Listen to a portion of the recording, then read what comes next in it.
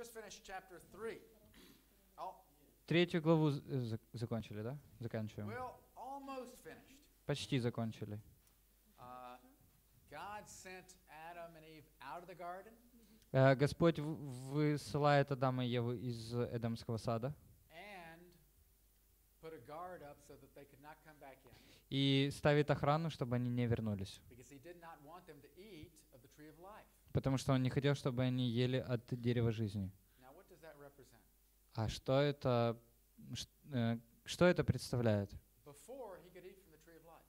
До того они могли есть от дерева жизни, а теперь не могут.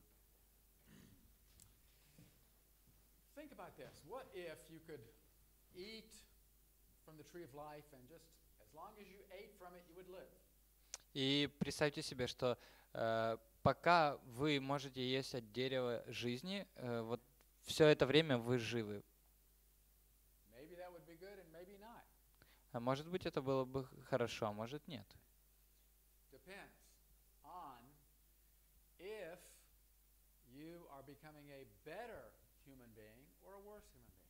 Зависит от того, или эм, развиваемся мы в лучшем сторону или в худшую.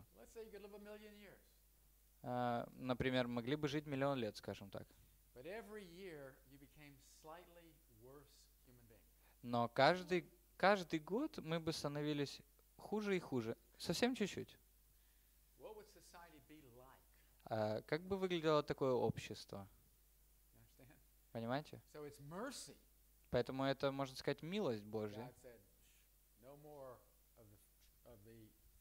God said, "Shh, no more of the, of the fruit of the tree of life. Э, То, что он сказал, что больше не, не, не можем есть от дерева жизни. chapter 4, Adam uh, and Eve had a son, Cain, Э, Четвертая глава. У Адама и Евы родился Каин и Авель.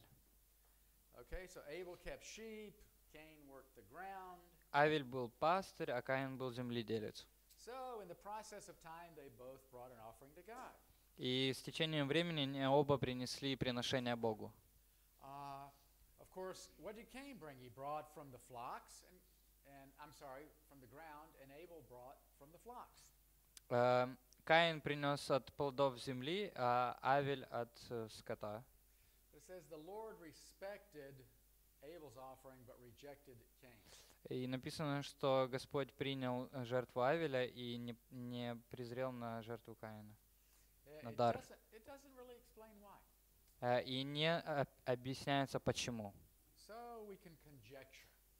М, Мы можем только предполагать. Uh, was it attitude? Эм, Было ли это отношение? Could be. Может быть. Uh, is it a sign that the blood offering is what God wanted, but not the grain offering? Может быть, э, имеется в виду, что э, Бог э, хотел как бы дар, от, ну, то есть с с э, в котором есть кровь, Uh, но потом мы видим, что все-таки в истории присутствует оба приношения.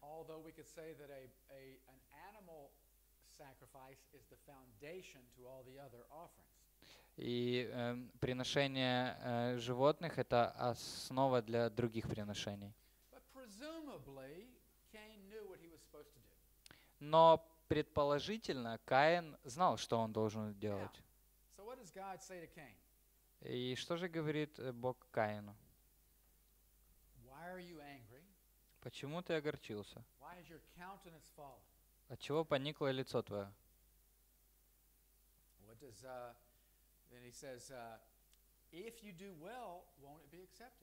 uh? Э, Если делаешь доброе, то не, почему не поднимаешь лица твоего? So, Смотрите, что происходит. Бог отвергает дар, but he doesn't reject Cain yet. но не отвергает Каина. Он общается с ним, спрашивает его. Как бы, ну, объясняется с ним. Спрашивает, почему ты огорчился? Ты, ну, может, ты сделал неправильно, но все равно ты можешь исправиться. Crouches at the door. This is the picture. It's like Mm. waiting to attack. Э, эм, грех, э, как, э, crouch. What, what is it? Be down like this. А, ну, он прячется как бы перед, дверя, э, перед дверью, у порога. But he says, Ну, its desire is for you. Sin desires to rule over you. Э, у нас написано, что лежит, а там как бы написано, что он прячется, именно ждет, выжидает. Он влечет тебя к себе, Но ты it. но ты можешь контролировать его. All right.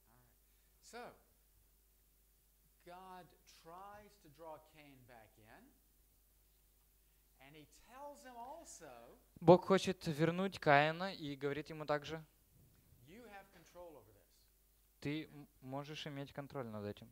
Words, yes, angry, Да, э, другими словами, да, ты зол или огорчен, really но нет нужды, чтобы ты так себя You're вел. upset, you're down, your countenance has fallen. Э, Ты расстроен, огорчен, твое лицо поникло,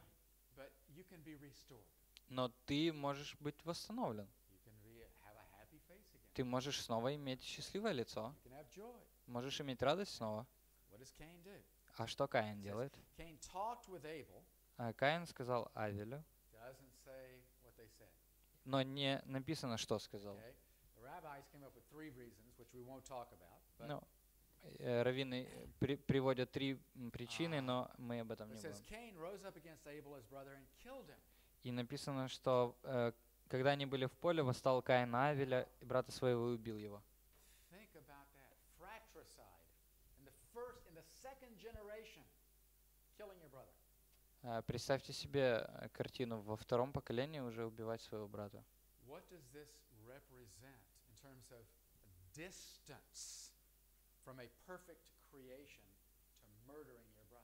Представьте себе вот эту э, как бы разницу, э, вот, э- вот это вот эм, временной, временной отрезок между сотворением совершенного и убийством человека, брата. Представляете? Как быстро грех приводит к еще большему греху. И это, ну, мы видим это в мире постоянно. Э, Одна из причин, почему существуют войны и люди ненавидят друг друга, из-за э, э, ревности и э, м, это, как это, жа- э, ну не жадности, сейчас, зависти.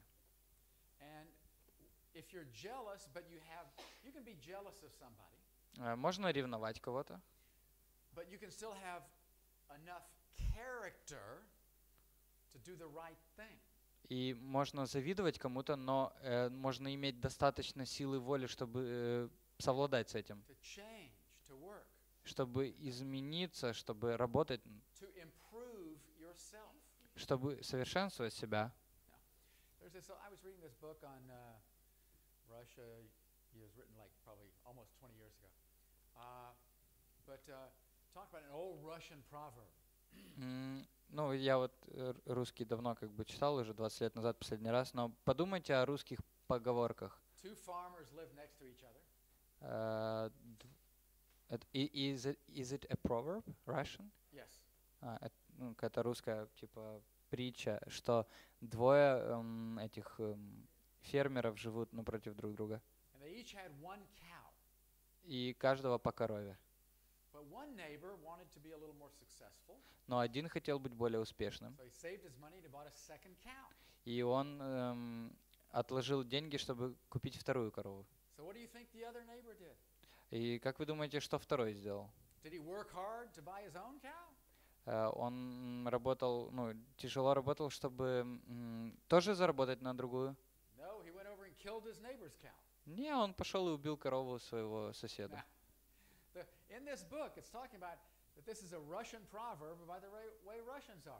И э, как бы эта притча показывает о том, как- какие, какой характер русского человека, скажем так. If you're jealous, just kill your neighbor's cow. Если завидуешь или ну, ревнуешь, то пойди и там убей корову соседа. И мно- ну, много таких есть людей, которые мыслят так же. И вот мое мнение. Э, Это объясняет то, что э, много вещей, которые происходят на Ближнем Востоке. I read an article in a magazine uh, about a year ago. Э, Читал статью в одном из журналов несколько лет назад.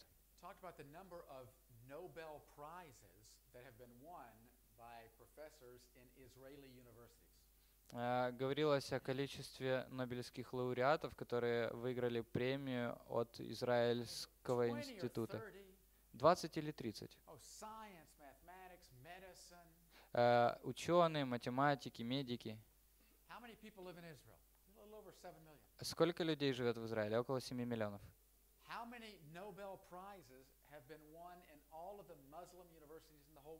А сколько, например, э, было нобелевских лауреатов среди мусульман? Ни одного. Два? Two? Two. Я думаю, что ни одного, по-моему, ну, по-моему, ни одного. Но, но это не премия мира и, и Нобелевская это разное. Okay. Okay, so so let's say two.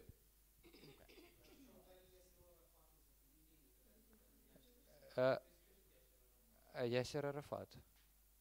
Oh no, that's not from a university. Это не от, это э, имеется в виду именно в университетах, среди университетов. Yeah. Right. Yes. Yeah. Right. So, uh, you know, s- science, literature, math, and so forth. Ну, So- в науке именно имеется в виду, потому что Uh, uh, Arabs. It's not that Arabs are stupid. э, ну, это не означает, что арабы они тупые. Но посмотрим на историю мусульманской цивилизации. Это э, цивилизация высокого уровня была. Uh, Э, развитая математика, science, наука, architecture, архитектура, литература. Когда европейс- Европа была в темной, ну, в темноте, скажем так,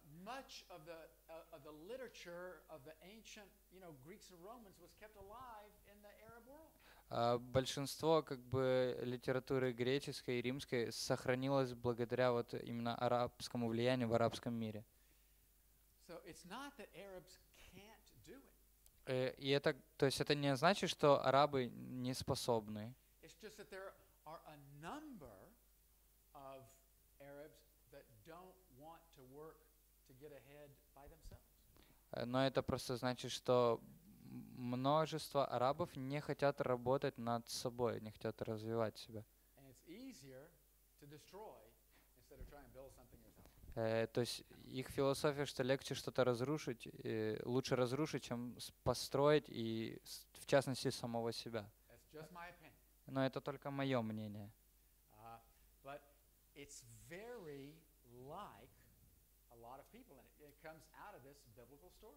Но это очень похоже на принцип, по которым мы видим в этой истории. И, возможно, мы сами знаем таких людей. Their life is not so good. Их жизнь не такая хорошая. So what do they do? Do they work hard to build a, a strong life for themselves? Э, И что они делают? э, Они работают над своей жизнью, чтобы ее улучшить? No, they'd rather gossip and talk about other people. Нет, они. Они лучше жалу, будут жаловаться и м, только обсуждать других людей и говорить, Okay. что они виноваты. So, uh, then God speaks to Cain, and what does Cain say? Am I, am I my brother's keeper? А потом Бог говорит с Каином и так дальше по истории. И Каин отвечает, что разве я сторож моему брату? Он, то есть таким образом он отрицает социальную ответственность. Понимаете? So, uh, God drives him out. И Бог его также как бы изгоняет. You deny social responsibility, you'll be a wanderer. А, Ты от- отвергаешь социальную ответственность, ты будешь странник. Okay, then there's the story of uh, Cain goes off and he finds uh, someone to marry, and, and his uh, Дальше продолжается история Каина, э, его супруга, его дети. И история дальше продолжается и ведет к Ламеху седьмому после Адама, который убивает тоже человека. Brags. Uh, what does mean brags? А и "Oh, хвалится, те- хвалится тем, что он убил. Я убил, я герой.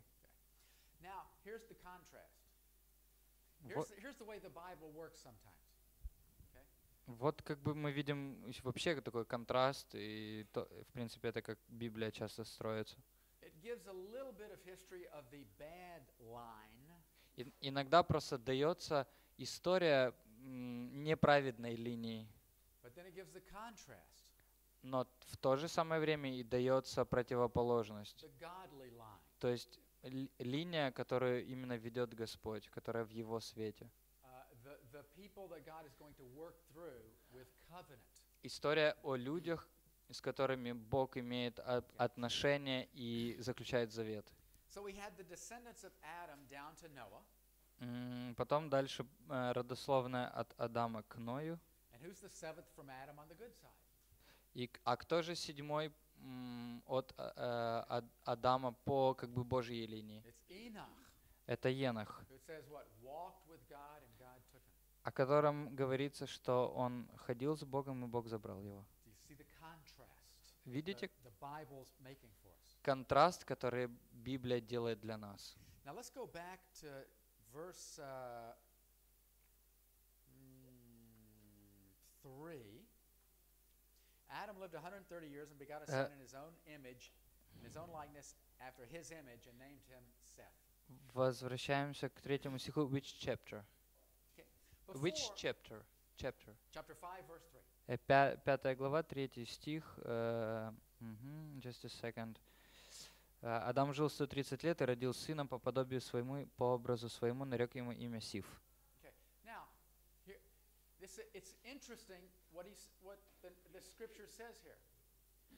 Интересно, что Библия здесь говорит нам. Before it says Adam had a son Cain, then he had a son Abel. М, Okay, just says that he has kids. Говорится, что вот у Адама были дети Каин, Авель. But here it makes it clear that he has a child in his own image. А, но также конкретно говорится о том, что у него был сын Okay? по подобию его и образу Okay, его. so Adam was created what? А, Как был создан Адам? In the image of God. Э, По образу Божьему. Was Seth created in the image of God? А Сив был сотворен по образу Божьему? Well, he was created in the image of Adam. Ну, знаем точно, что он был сотворен по образу Адама. Вот что я думаю здесь происходит в этой истории. Что Адам изменился.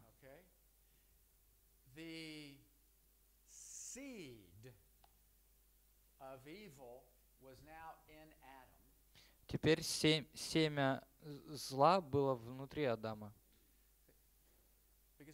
Think of this when it says, when you eat of the fruit of the knowledge of the tree of good and evil, Потому что, когда написано, что Бог говорит, когда вы вкусите от дерева познания добра и зла, it's, it's, it's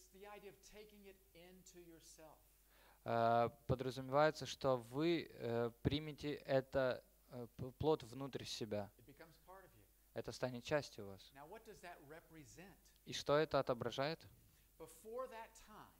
До, до того момента, как они вкусили, что было прав- э, правильно и неправильно, хорошо или плохо? То. То, что Бог говорил Адаму, было правильно, и все. Но Адам сказал, нет, я хочу быть тем, кто сам определяет, что для меня правильно, а что неправильно. The, word from uh, the Latin is autonomy. I want to be autonomous. А, want I got it. I law. А, То есть, другими словами, э, Адам сказал, что я хочу быть автономным, я сам хочу для себя устанавливать законы. So I think when it says that he begot uh, in his i- in his own image, when Adam begot Seth in his own image, М, То есть, м, sorry, what? when when Adam begot Seth in his own image, Э, То есть, когда А- Адам а? А, зачал от своей, по, по своему подобию и образу, that it was Adam as he was after the fall, Это уже был тот Адам, который был после падения. not that perfect image of God. Не тот совершенный образ Божий, который был в саду. Now, that is not what traditional Judaism teaches. Но и это не то, о чем нас учит традиционный иудаизм.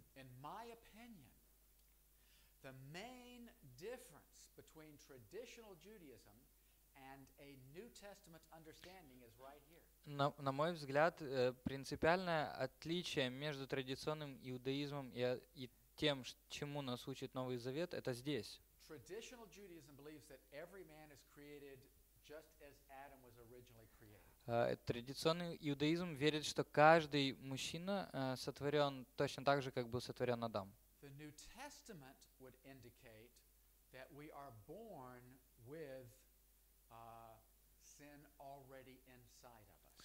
А Новый Завет учит нас э, тому, что мы все рождены уже с грехом внутри.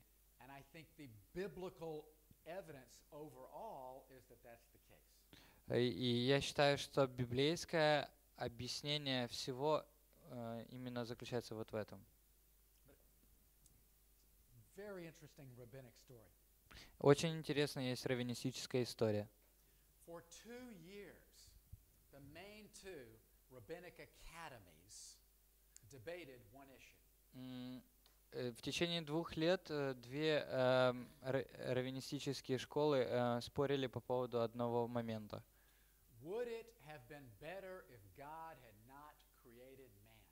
Было бы лучше, если бы Бог не сотворил человека. Подумайте об этом. Что вы думаете по этому поводу? С одной стороны, с одной стороны написано здесь, что Бог пожалел о том, что Он сотворил человека. Но подумайте вот о раввинах. Тора — это Слово Божье. Тора — это их жизнь. Э, Тора провозглашает то, что Бог э, сотворил человека.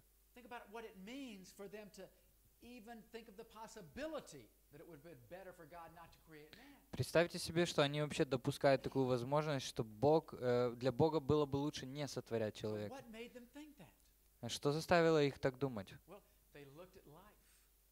Они смотрели на жизнь. Если мы посмотрим на целый мир, кажется, что в мире больше боли, чем счастья. Понимаете?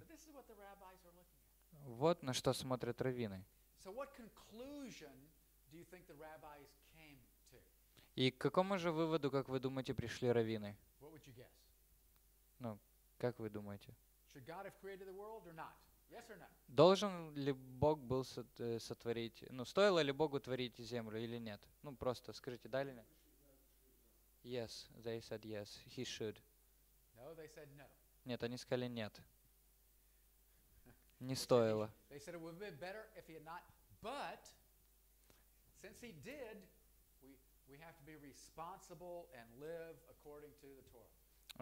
И они сказали так, что ну, ему, конечно, не стоило, но раз он уже так сделал, то мы ответственны за то, чтобы жить по Торе и соблюдать его закон. Это такая невероятная история.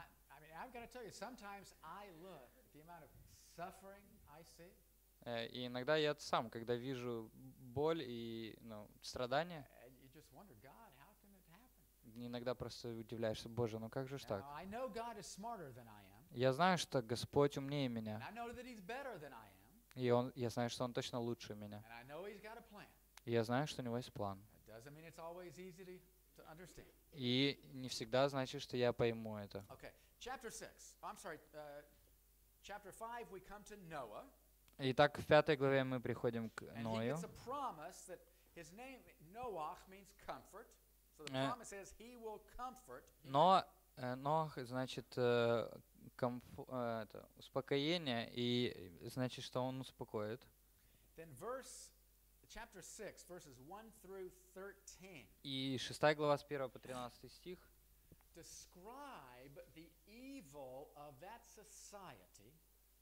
описывает зло того о, общества in the strongest terms anywhere in the Bible. В как бы сам, ну, самыми такими серьезными и эм, ну, жесткими терминами во всей Библии. Now, first, it talks about the, uh, uh, the, the sons of God and the daughters of men intermarrying. А, Написано, что тогда сыны Божьи увидели дочерей человеческих, что они красивы, Now, и брали их в жены. some people think that means that the fallen angels Некот-.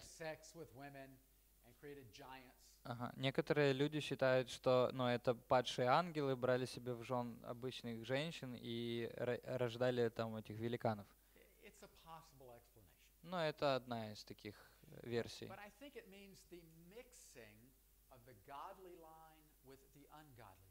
Но я считаю, что это означает такое смешение между вот, э, вот этой вот линией исторической, э, которая отпала от Бога, и той линией, которая как бы шла в Божьей воле. Э, Что Ишуа сказал своим ученикам? Э, Сказал, что вы соль земли. Но если соль теряет свою соленость, что тогда происходит? Если нет соли, если свет э, мира, он как бы прячется, если люди Божьи, а, если Божьи люди как бы смешиваются полностью с миром, а, ну в чем тогда, где надежда? А, так- такое общество полностью So verse 5, падает и разлагается. Пятый стих.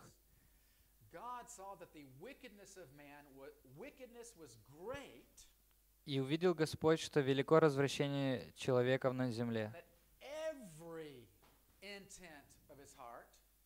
и что все мысли и помышления сердца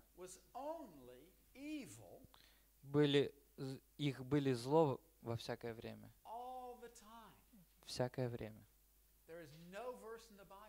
Нет такого стиха в Библии, нет больше такого стиха Библии, который так серьезно бы описывал э, происходящее на земле. Verse 11 the earth was corrupt before God and filled with violence. М, Одиннадцатый стих говорит, но земля растлилась перед лицом Божьим и наполнилась земля злодеяниями.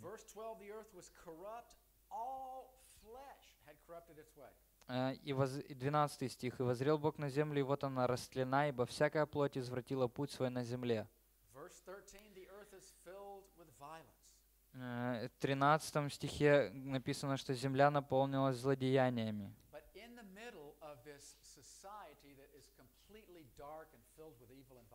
И э, посреди вот этого вот общества, которое полностью растлено, развращено, imagine yourself living in a place like. Вообще представь, представьте, что вы живете среди такого общества. Никаких правил. А Единственное правило — это сила. Понимаете? Никакой безопасности. Даже если ты силен,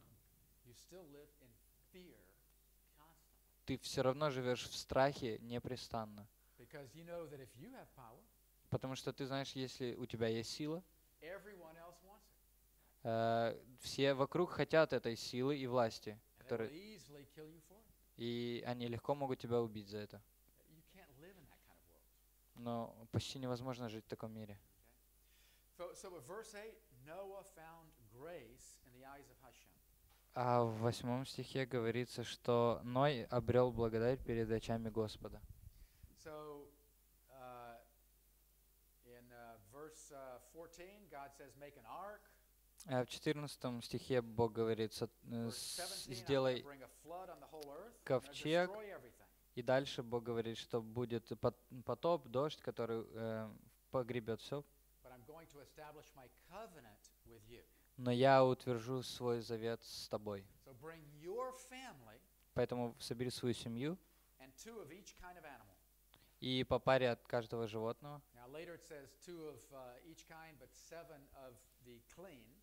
Э, Дальше написано, что э, по двое э, ка- э, каждого животного, каждого вида, но семеро чистых. Verse or chapter 7 verse 1. Э, Седьмая глава, первый стих. Uh, come into the ark, you and your household, because I've seen that you are righteous before me in this generation. «Войди ты и все семейство твое в ковчег, ибо тебя увидел я праведным передо мною в роде этом».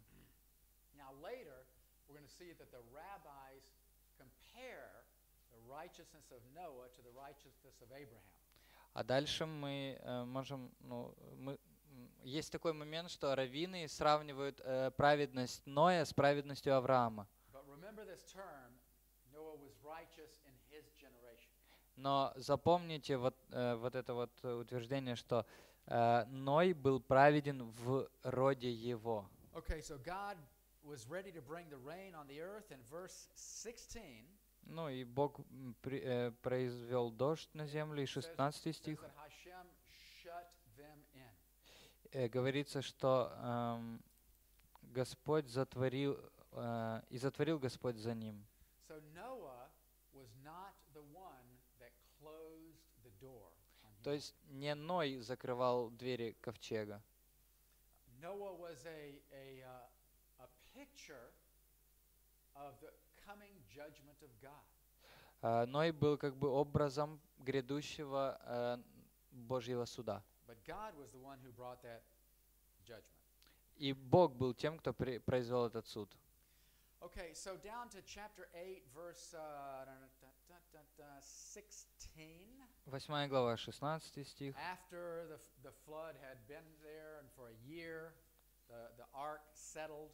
После навод- наводнения, которое длилось год, э, ковчег перестал к земле. And God says, now you can go out of the earth. И э, Бог сказал, теперь можете выйти на землю. So they went out. И они вышли.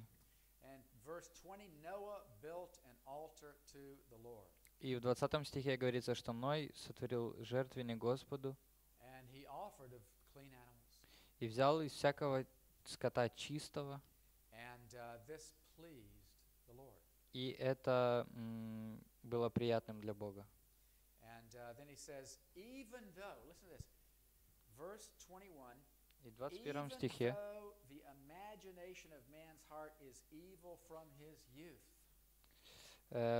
Бог говорит, что да- даже, ну, в их переводе, даже если э, сердце человека э, испорчено от его юности, Uh, я больше не буду уничтожать все живое, вот как, как в этот раз. Okay, now chapter 9, verse 1.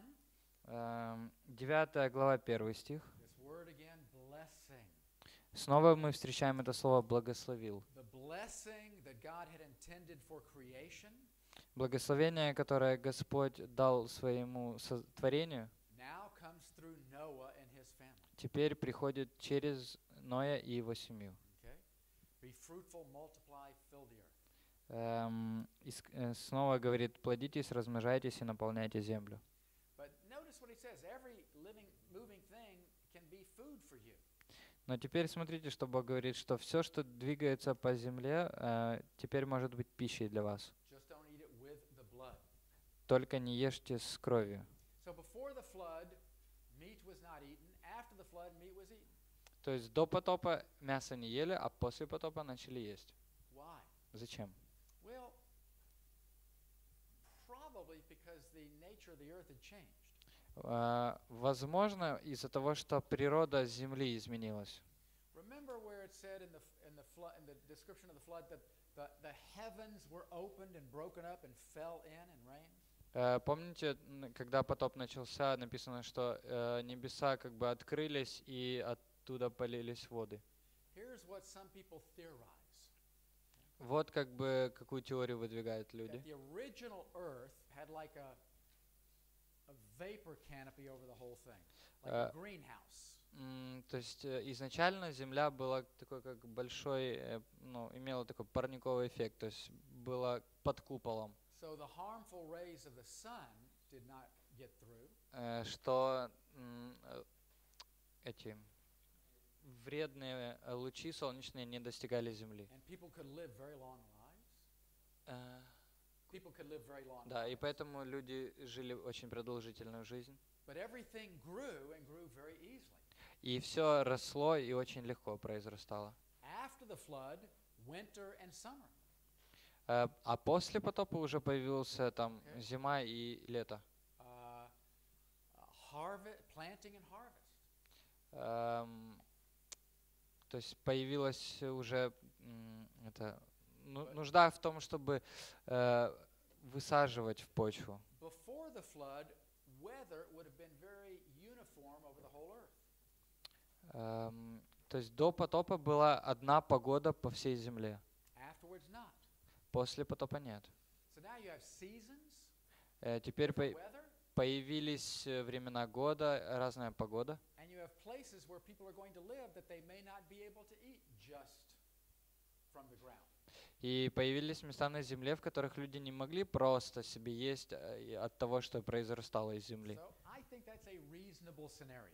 Э, Я думаю, вот это как бы объясняет, почему так получилось. vers- verses 4, 5, 6, and 7 here Э, С 4 по 7 стих are the beginning of what later come to be called the, the Noahide, the laws of Noah, the Noahide laws. Э, описывается то, что называется законы Но- Ноя. Blood, Э, од- Один из них не есть с кровью. uh, but the, the next one right here is uh, uh, don't shed man's blood. А Следующий не проливать человеческую кровь. Respect for the image of God in man. Это ну, э, говорится о том, чтобы уважали э, образ Божий. Even though uh, we may be not, not perfect like we were originally created, Даже если мы э, несовершенные по своей природе, every human being still has the image of God. все равно все люди на земле имеют образ Божий. That's why every person has value. Вот почему каждый, каждый человек ценен.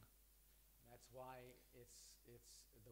worst thing you can do is to take another human being's life by murder. Вот почему одно из самых э, таких ужасных зол — это забрать чью-то жизнь. Now, the rabbis later, dev- the rabbis thought long and hard about the Torah Э, И раввины очень долго размышляли над Торой, and why Israel was given the Torah, и почему именно Израилю была дана Тора, but also what were the responsibility of the nations that did not have the Torah. а э, какая, и при этом какая ответственность народов, у которых не было Торы. So they had certain laws that were that they believed were uh, that all nations should keep. А, То есть э, вот в этом месте описывается как бы универсальные законы для всех народов, которые все народы должны были придерживаться. Later, they, they were seven, and now there are seven, Потом их стало семь. Seven laws? seven Laws. laws. Семь, как бы потом стало семь законов этих. Now, you have seven laws, but really you have to make more laws in order to keep those seven. Ну, как бы потом появились другие, но как бы основа осталась, что нужно семь этих исполнять законов. Один из этих семи это не то, что не нужно было воровать. That means that you have to have a number of laws of what it is to steal and so forth. А, ну то есть, то есть, э, ну, а, вспомогательные законы существовали, которые объясняли вообще вот этот принцип, что значит не воровать. Почему не воровать? И это очень важная вещь, которая помогает понять Новый Завет. Because remember in Acts chapter 15, the Council of the Apostles, Помните 15 глава Деяний э, Совет апостолов? they determined that all of Gentiles do not have to keep the whole Torah, Они определили то, что э, язычники не должны соблюдать всю Тору, но они сказали, что э, язычники долж- должны исполнять пять э, вещей. Какие это пять вещей?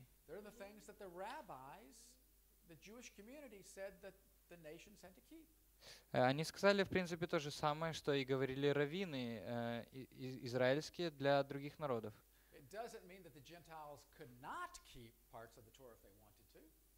Э, Это не означало, что эм, э, язычники вообще, не- ну, запрещалось язычникам исполнять эм, и, как бы заповеди Торы, если они хотели того. But the obligation was.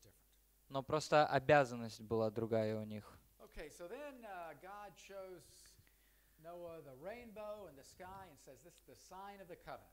И Бог показывает дальше э, радугу но, Ною и говорит, что это знак завета,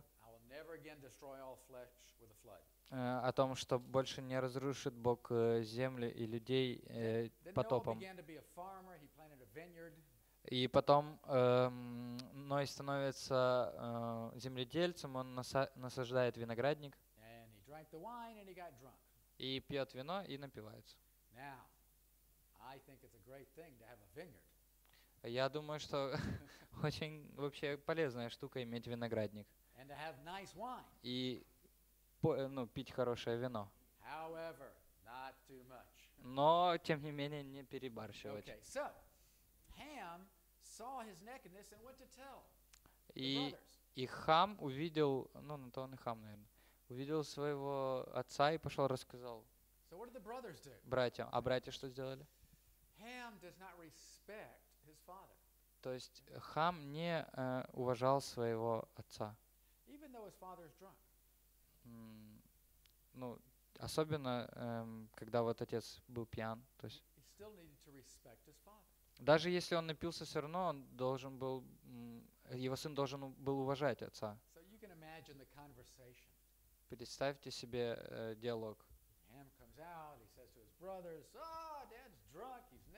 Э, выходит Хам и говорит, а, папа там напился, голый валяется. Э, а братья берут покрывало и идут э, спиной вперед. In the ancient world, the idea of seeing someone's nakedness was a was uh, a taboo. Э, По правилам э, древнего мира э, запрещено было смотреть на кого-то обнаженного. Э, И когда Ной просыпается, он понимает, что произошло. Э, И он проклинает Ханаан, э, который э, является сыном Хама. Now, it kind of was a curse on Ham. It's a way of saying it.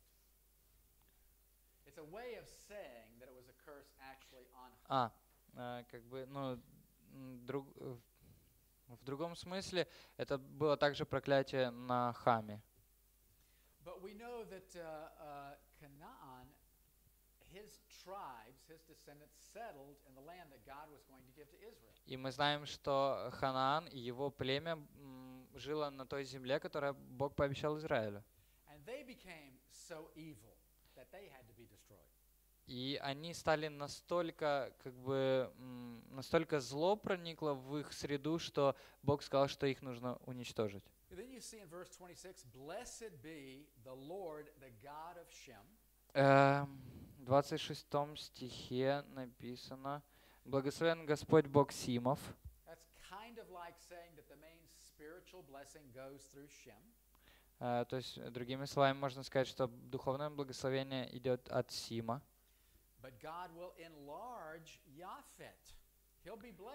И, но здесь также говорится, что Бог распространит и Иофета. Then down, so, so this is the destiny of the three sons of, uh, uh, of Noah. То есть здесь описывается судьба дальнейшая трех сыновей Ноя. All of them have their gifts and blessing, Все они имеют благословения и дары, но духовное, э, духовный аспект идет через Сима.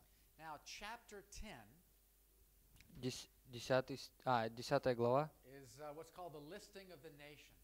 э, это называется как бы такой список наций.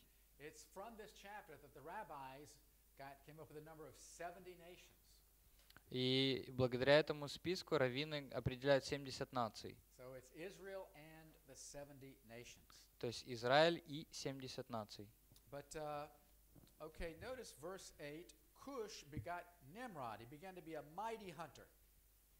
М, 8 and 9. э, Восьмой стих э, написано, Хуш э, родил также It и он начал быть силен на земле. И здесь говорится о том, что у него было царство, и он господствовал. One of which was Bavel, Э, Пафел и- Babylon. А, одно из его царств это был Вавилон. Then he went out and he built a Nineveh. Э, И потом он построил, э, he built, Nineveh. а, Verse. Uh, а, мгм, и он построил Ниневию. Now, Bavel was the capital of the Babylonian Empire. Э, ну, Ба- Ба- ну, Вавилон это был центр Вавилонской империи, Nineveh became the capital of the Assyrian Empire. а Ниневия была столицей Ассирийской империи. Э, И это были такие как бы сверх страны, э, сверхдержавы, которые противостояли Израилю. Okay, so down to the end it says these are the И в конце говорится, что это родословие народов. Verse 11. The whole earth had one language and one speech. Эм, chapter 11. Yes. 11, Right, chapter 11. Sorry. 11 глава, первый стих. «На всей земле был один язык и одно наречие». And they were all staying together. Все равно был, все, ну, было единство. Now God had said multiply and spread over the whole earth. И Бог сказал распространяться человеку по всей земле. Иногда вот люди не хотят оставить свою комфортную зону. Говорят, что нет, мы вот э, останемся вместе тут. А потом люди говорят дальше, что давайте построим город с башней. Now they said, now in the, in the Hebrew it says its top is in the heavens. И Библия говорит, что э, вершина этой горы, кас- э, башни касалась небес. Э, ну, я думаю, что на самом деле не совсем так было. То есть они не буквально построили эту башню, которая касалась неба. Э. Я верю, что, ага, что это м, называлось как бы зигарат. Ну, это Э, это, то есть это башня, которая позволяла э, рассматривать э, передвижение звезд. Я думаю, что это как раз вот начало астрологии. И что это э, объясняет? Что это показывает? Э, это, объяс- это говорит нам о том, что вместо того, чтобы люди смотрели на Создателя, for guidance and for a way of life, э, вместо того, чтобы искать его водительство и правильной жизни, они начали смотреть на творение. So here, the, all of humanity has turned away from obedience to God. То есть все человечество отошло от послушания Богу.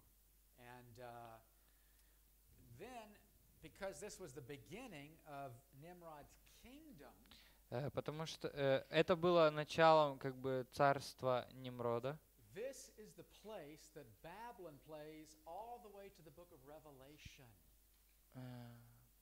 this is.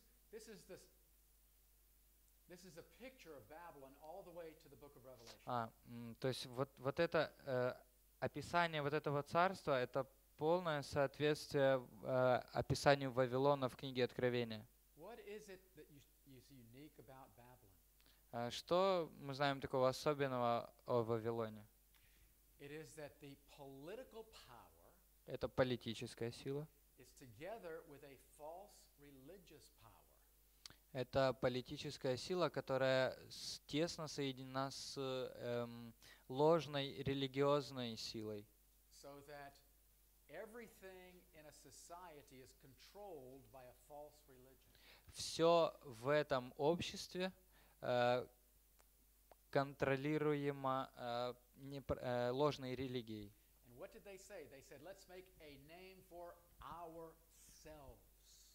И здесь эти люди дальше, которые строили башни, они сказали, э, сделаем имя себе. Четвертый стих. It's a way of life and politics and religion Это стиль жизни, политики и религии, в которой человек самая высшая власть, и он как бы контролируем поли- э, смесью политической и религиозной. И если мы рассматриваем книгу Откровений,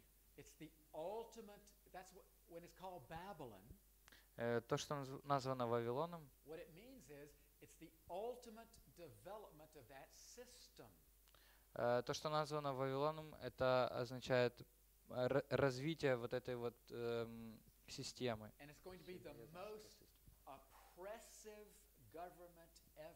И это такое как бы самая противоборствующая система и ну, в всем мире. No one will be able to buy or sell unless they take the mark of the beast. С- а, Никто не, не, не может, н- описывается, что никто не может существовать и жить, пока не будет на нем э, вот этого знака зверя. And what's the mark of a beast? 666. И что, ну, это знак зверя это три шестерки. И это число человека. А, то есть эм, системы, которая управляется человеком. So Начинается оно вот здесь.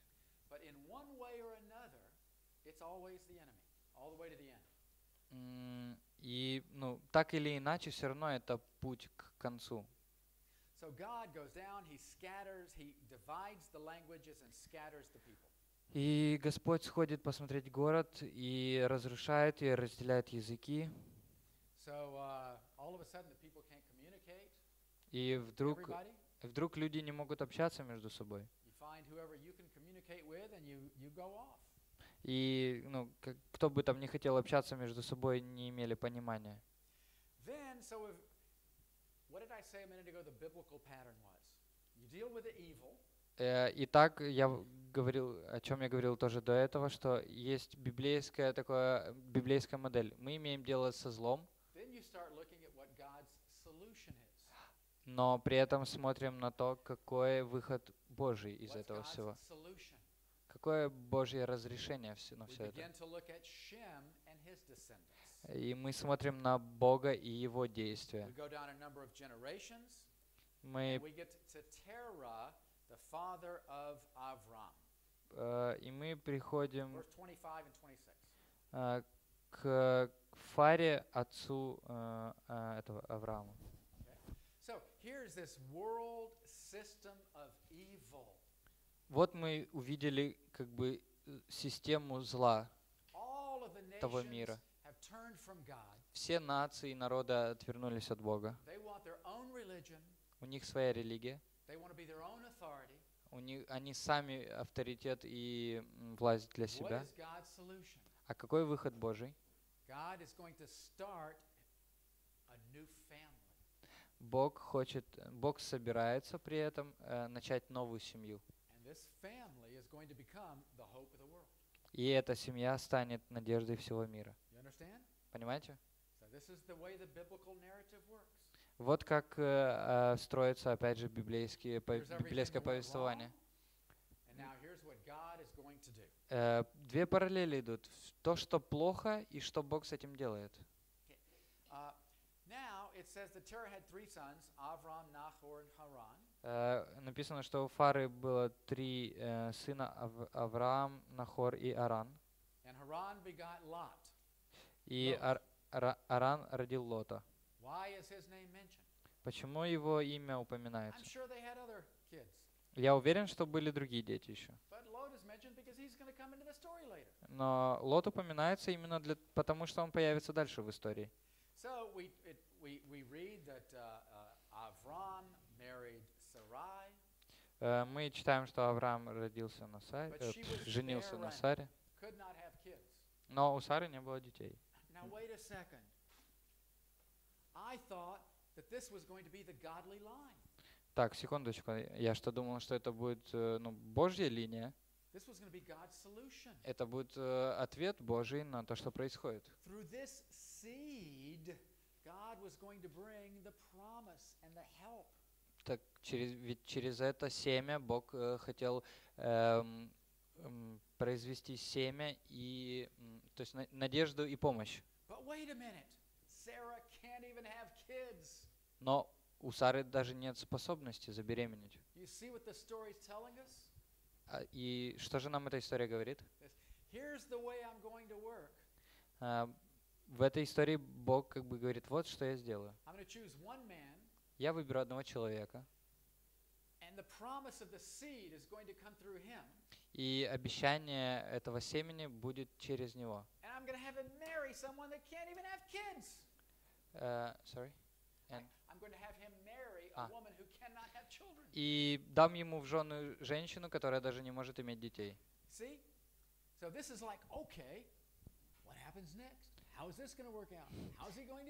И тут такое как бы начинается такая интрига. Окей, ну и что же, как же Бог это все разрешит? Now notice what it says here. Terah took his son Avram and Lot, and they went to Haran. Actually, it says they went to go to the land of Canaan. И в 31 стихе написано, «И взял Фара Авраама, сына своего, и Лота, сына Аранова, внука своего, и Сару, и, и, и, чтобы идти в землю ханаанскую. Но они дошли только до Харана. И что эта история рассказывает нам?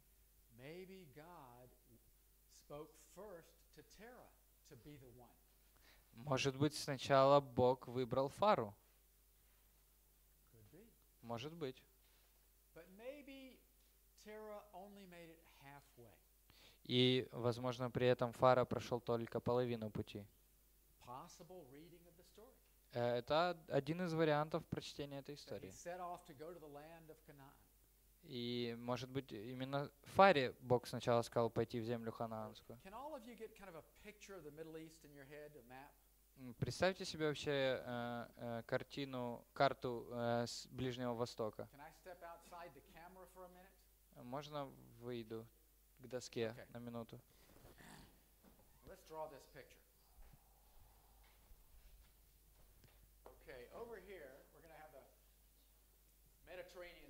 Это Средиземное море. Египет тут.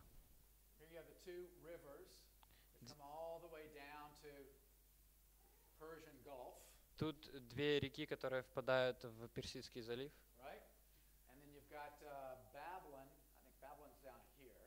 River. I'm not sure. Может, Вавилон там вот. Uh. Но это все пустыня. So this is called the Fertile Crescent. Much of Egypt along the Nile, it's all green. И. Египет, э, который вдоль Нила располагается, он зеленый, и, там зелень. this is called the Fertile Crescent, an arc, э, fertile. Fertile Crescent, an arc. Just this shape, whatever that shape is. э,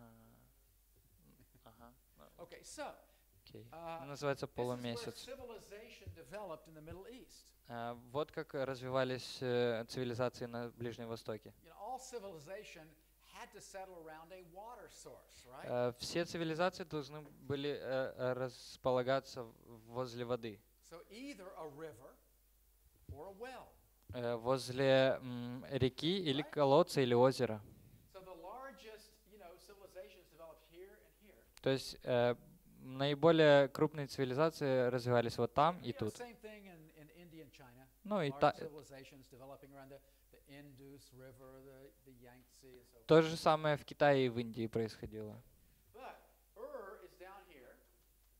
А Ур халдейский вот тут, Haran is like over about here. Харан вот тут.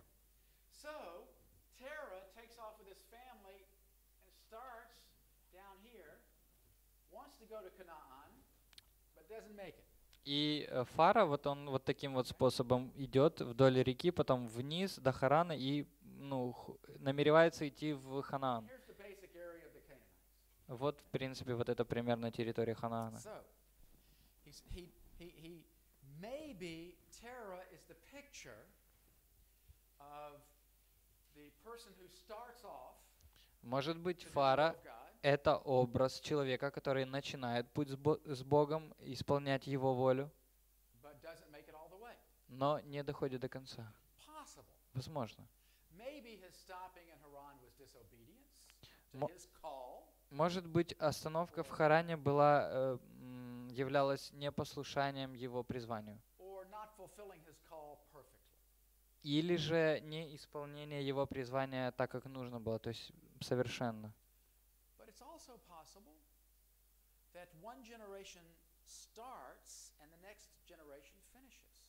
А возможно, э, это значит, что одно поколение начинает путь, а другое его продолжает и, завершает. Потому что Бог призывает нас. Бог часто призывает нас делать вещи, которые мы за свою жизнь не можем завершить. Uh,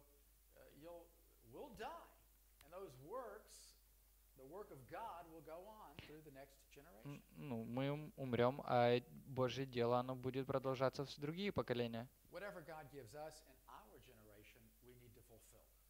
Э, Ну, все, что Бог дает нам в нашем поколении, мы должны исполнять. So anyway, they end up in Haran. Итак, они остановились в Харане. Потом Тер- э, Фара умирает. uh, И Бог говорит с Авраамом.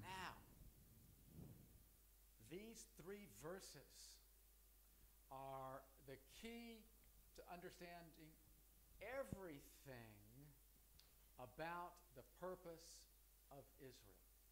И вот эти три первых стиха, это, они являются ключевыми для понимания цели Израиля.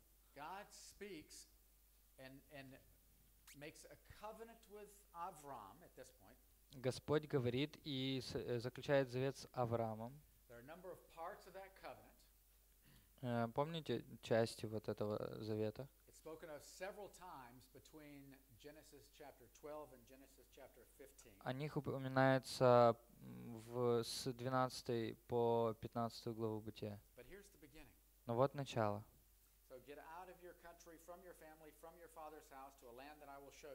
«Пойди из земли твоей, от родства твоего и из дома отца твоего в землю, которую я укажу тебе». А потом Бог говорит, что Он собирается делать. А, Какая э, часть э, Авраама? То есть что Авраам должен делать? Пойти. Okay? The, the, uh, by the way, we have moved into the third parashah. First parashah, Bereshit, Genesis 1 1 through 6 8. Э, Первая часть, то есть, ну вот эта глава, это э, бытие э, from first till Uh, 6 verse 8. э, до шестой главы восьмого стиха. Then chapter 6 verse 9 through the end of chapter 11. Потом с шестой главы девятого стиха по одиннадцатую главу, конец одиннадцатой главы. Э, Называется глава Но- Ной. Называется Лех-Леха. Okay? It's like go and go. Go and get you going. Э, э, Называется «Иди Go to и, yourself. иди и продолжай идти». You know, like you yourself, get going. Ты Uh, продолжай It's идти. hard to translate precisely, Э, Precise. but exactly. А. Uh, М, Что именно еще раз? Ну, это вот эта глава, вот эта глава. I'm going to make you a Лех great Лехай. nation. Sorry, get you. Э, Бог говорит, что я произведу от тебя народ великий, благословлю тебя, возвеличу имя твое, и ты будешь в благословении. Я благословлю благословляющих тебя, и злословящих тебя прокляну. and in you, and this is the key, all the families of the earth shall be blessed. И ключевой момент, и благословляться тебе, э, в тебе все племена земные. Вот God эта картина. Sense,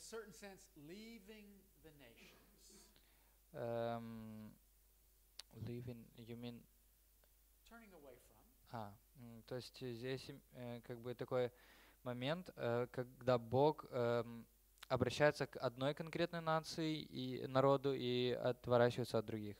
Как бы. one nation чтобы сотворить отдельный народ. Но их цель этого народа, их цель, она является целью для всех народов. Бог не забыл о человечестве. Э, Бог не выбрал евреев только для их самих себя. Он выбрал их, э, чтобы они были слугами, чтобы они служили всем народам. Дальше рассмотрим, что это значило. Ну, давайте вот рассмотрим. Here we are 4,000 years later, Э, Мы сейчас, 4000 лет спустя событий, and we can see how things worked out. э, и видим, как многие вещи уже сбылись, совершились. Э, Бог дал Аврааму землю э, и возвеличил его имя, и многие народы произошли от него.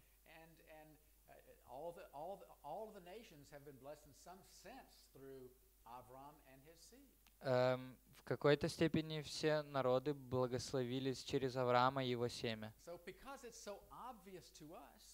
По, т- по той причине, что это уже очевидно для нас.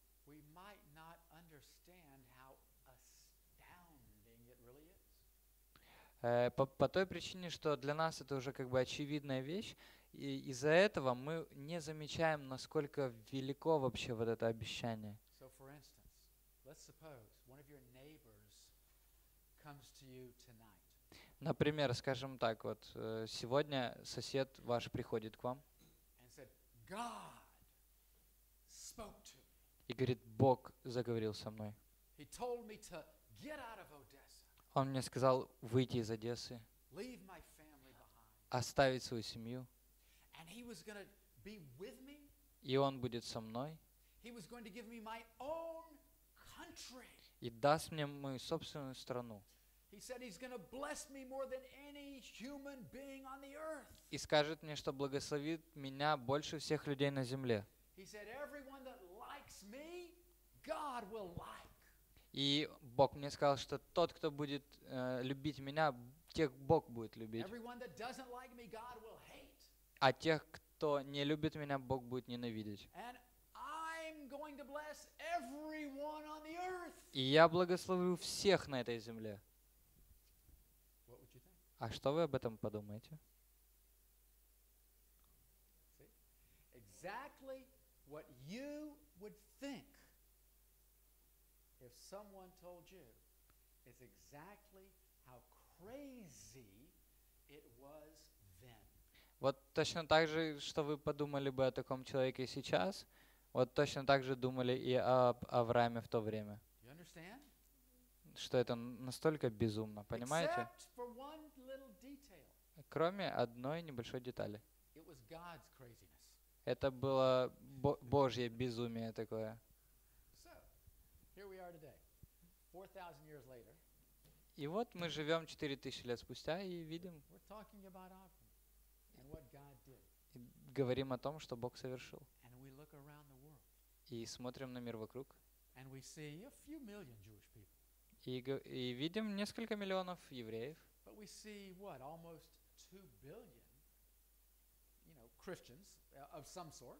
э, И наблюдаем почти 2 миллиарда более-менее христиан. And what, do, what does Christianity acknowledge? И что, э, ну, что узнало христианство? They believe in the God of Israel, Э, Они верят в Бога Израиля, и Писания израильские, Мессию Израиля. Э, sorry. They say it all started with Abraham. И говорят, что все началось от Авраама. And we could even say there are like 1.2 or 3 billion Muslims in the world. И, а также видим там около чуть больше миллиарда эм, мусульман.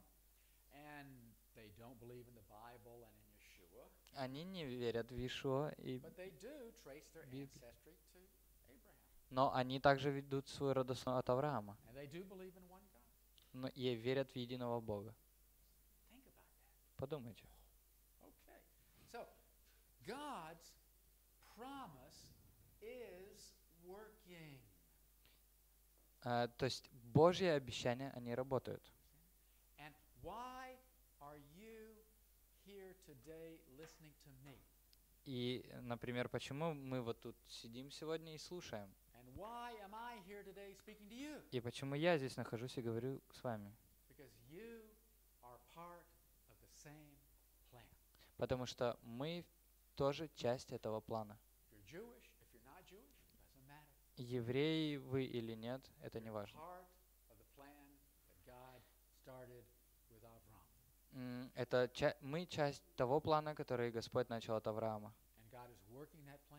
И Господь работает над ним.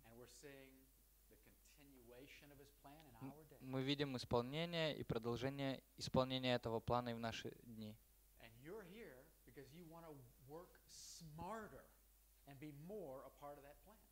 И мы здесь находимся, потому что хотим быть умнее и хотим действительно видеть, э, что значит быть частью этого плана. Вот почему я здесь, потому что хочу помочь вам. Поэтому, ну, не забывайте об этом. Okay, let's see how much further I can get in the time we have. So, uh, Abraham departed, as the Lord said, and he was 75 years old when he left. Итак, Авраам вышел от, своей, э, от своего рода, и ему было 75 лет, когда он это сделал. Э, Взял жену и Лота и все свое добро. But it also says they took all the people that they had acquired in Haran. Эм, Но также написано, что он взял всех людей, которые были у него в Харане. Now, let's see here. Aha. And he took all- uh, Kol Rechu Sham Asher Rachashu, Мгм. all the stuff that he had gathered. И все, что... Et hanefesh asher asu becharan. And all of the souls that he had made in Haran. То есть он взял с собой все, все что, добро, имущество, которое у него было в Харане, а также все те души, то есть тех людей, которых он приобрел в Харане. Later, we read that there were 318 that had been born into Avram's house. А, э, Дальше мы читаем, что 318 человек родилось в доме Авраама. The rabbis make a very big deal out of this. Э, И раввины очень так гордятся этим. Когда иногда мы читаем э, раввинистическую литературу,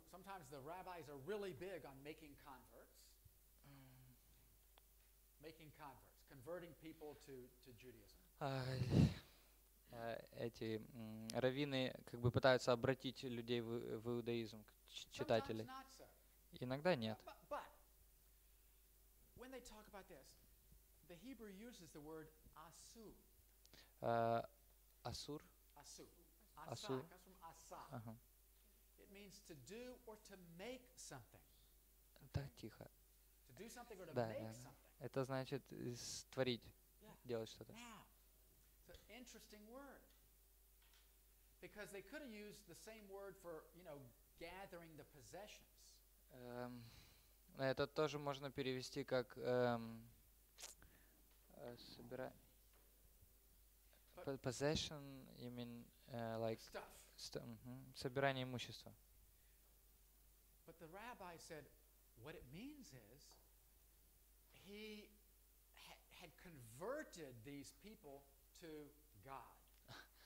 Но раввины как бы э, объясняют вот то, что здесь написано так, что он, Авраам, обратил этих людей к Богу. So. То есть он сотворил их души. Понимаете? Now, И они э, сравнивают э, то, что он сделал, также с Ноем. И э, как бы так сравнивают, кто был более праведен, Ной или Авраам. Написано, что Ной был праведен в своем роде, но его род был такой развращенный, что он мог э, стать. А- uh. Что, ну, настолько было развращение в то время, что Ною как бы, ну, было легко быть праведным. Но вот праведность Авра... Авраама, она была... велика. 318 people. Потому что он обратил целых 318 Whereas человек. А Ной всего лишь свою семью собрал. So conversion reaching the nations is important. Э, вот, поч- вот почему как бы э, достижение на, э, народов очень важно и точно, ну и в частности для раввинов тоже.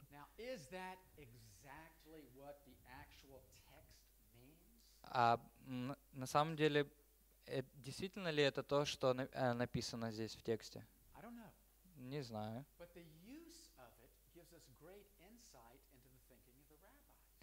Но эм, использование этого стиха эм, дает нам как бы понимание того, что имеет в виду раввины.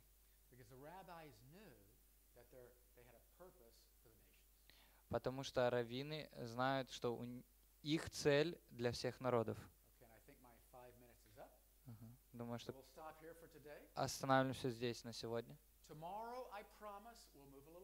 Э, Завтра, обещаю, будем двигаться чуть быстрее. We will get through with the book of Genesis tomorrow. Э, Мы э, пройдем книгу э, Бытия завтра.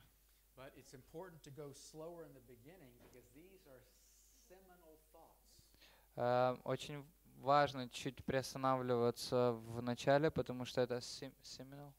Seminal, like from the seed form. А, потому что это как бы основополагающие такие моменты. Будьте благословенны.